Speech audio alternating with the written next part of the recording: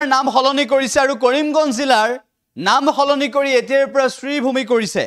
উল্লেখ যে কৰিমগঞ্জৰ নামত কৰিম আঁতৰাইছে। কৰিমগঞ্জৰ নামৰ পৰা কৰিম শব্দ আঁতৰাই দিছে।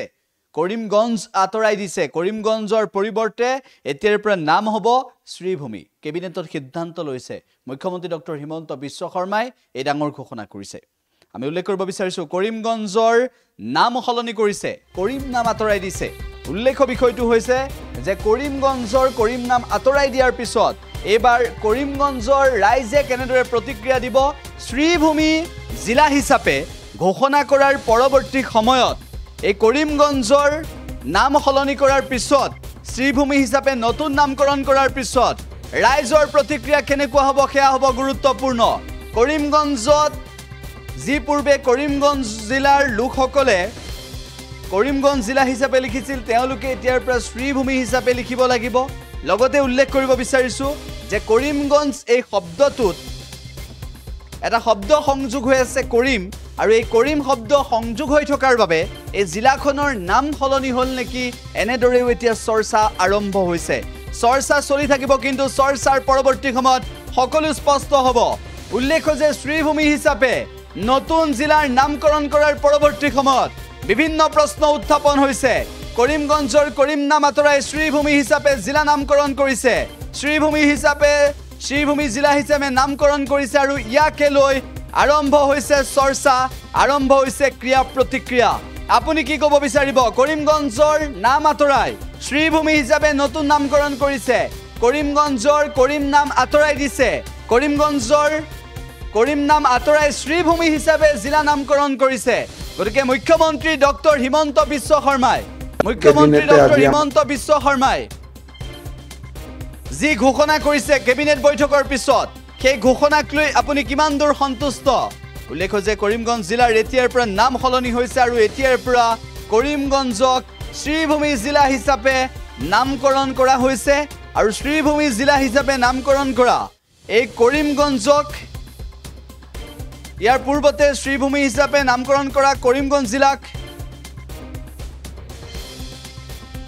যিসকল লোকে ক্ৰিয়া প্ৰতিক্ৰিয়া দিছে যিসকল লোকে মুখ্যমন্ত্ৰীৰ এই সিদ্ধান্তত সহমত পোষণ কৰিছে তেওঁলোকে কি ক'ব বিচাৰিব? লক্ষণীয় বিষয়টো হৈছে যে মুখ্যমন্ত্ৰী ডক্টৰ হিমন্ত বিশ্ব শৰ্মাই এতিয়াৰ পৰা কেবিনেটত আজিৰ দিনটোত কেবিনেটত এই সিদ্ধান্ত গ্ৰহণ কৰিলে। বৰাক উপত্যকাৰ এই জিলাখনৰ নাম কৰিমগঞ্জৰ পৰিৱৰ্তে শ্ৰীভূমি কৰিলে।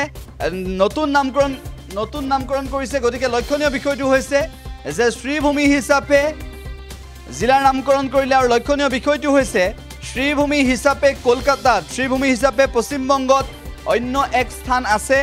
লগতে আমি উল্লেখ কৰিব বিচাৰিছোঁ যে শ্ৰীভূমি হিচাপে কৰিমগঞ্জৰ নাম এতিয়া এতিয়া শ্ৰীভূমি হিচাপে কৰিমগঞ্জক জনা যাব। কৰিমগঞ্জৰ নাম সলনি হ'ল কৰিম নাম আঁতৰি গ'ল। এতিয়াৰ পৰা কৰিমগঞ্জৰ নতুন নাম হৈছে শ্ৰীভূমি গতিকে ইয়াকে লৈ ইতিমধ্যে আৰম্ভ হৈছে ইয়াকে লৈ আৰম্ভ হৈছে ক্ৰিয়া প্ৰতিক্ৰিয়া আৰু লগতে আমি উল্লেখ কৰিব বিচাৰিছোঁ যে এই নতুন নামকৰণক লৈ শ্ৰীভূমি হিচাপে নতুন জিলাৰ নামকৰণ কৰাক লৈ বিভিন্নজনে মন্তব্য কৰিছে আৰু লগতে আমি উল্লেখ কৰিব বিচাৰিছোঁ যে কৰিমগঞ্জ জিলাৰ নাম এতিয়াৰ পৰা শ্ৰীভূমি হ'ব কৰিমগঞ্জ জিলাৰ নাম শ্ৰীভূমি হ'ব। মুখ্যমন্ত্ৰীগৰাকীয়ে উল্লেখ কৰিলে মুখ্যমন্ত্ৰীৰ সিদ্ধান্তত আপুনি কিমান দূৰ সন্তুষ্ট? কেবিনেট বৈঠকত যি সিদ্ধান্ত ল'লে সেই সিদ্ধান্তত কিমান দূৰ সন্তুষ্ট? আৰু লগতে আমি উল্লেখ কৰিব বিচাৰিছোঁ যে এতিয়াৰ পৰা কৰিমগঞ্জ জিলাক শ্ৰীভূমি হিচাপে জনা যাব আৰু কৰিমগঞ্জৰ জনতাই কেনেদৰে এই সন্দৰ্ভত প্ৰতিক্ৰিয়া দিয়ে সেয়াও হ'ব গুৰুত্বপূৰ্ণ। উল্লেখ্য বিষয়টো হৈছে যে কৰিমগঞ্জত কৰিম নামৰ শব্দ আছিল। আৰু লগতে আমি উল্লেখ কৰিব বিচাৰিছোঁ যে শ্ৰীভূমি হিচাপে কিয় নামকৰণ কৰিছে মুখ্যমন্ত্ৰীগৰাকীয়ে এই সন্দৰ্ভত মন্তব্য কৰিছে। সেই মন্তব্য শুনাব বিচাৰিছোঁ। কেবিনেটৰ বৈঠকত কেবিনেটে আজি আমাৰ কেবিনেটৰ বৈঠকত কৰিমগঞ্জ জিলাৰ নাম আমি শ্ৰীভূমি জিলালৈ শ্ৰীভূমি জিলা বুলি নতুনকৈ নামাংকন কৰিছোঁ। এতিয়াৰ পৰা কৰিমগঞ্জ জিলা শ্ৰীভূমি জিলা হিচাপে নামাংকিত হ'ব আৰু আজি কেবিনেটে তাৰ ওপৰত আমাৰ সিদ্ধান্ত যিকোনো খবৰৰ বাবে যোগাযোগ কৰক seven zero' double nine zero' one seven double three zero' অথবা seven zero' double nine zero' one seven double nine zero' নম্বৰত।